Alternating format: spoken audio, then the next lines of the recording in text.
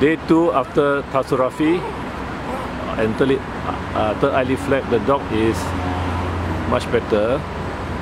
Has eaten and passed motion and no more panting.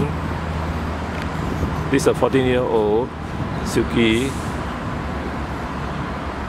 terrier with with uh, corneal ulcer about 8 millimeter across, a deep one, and uh, was treated for one month by by the owner, but uh, didn't recover. It got worse, so I did a tarsorrhaphy with third eyelid flap, and uh, the dog will be here for a few days, maybe seven days. So far, it looks active, and we give antibiotics and painkillers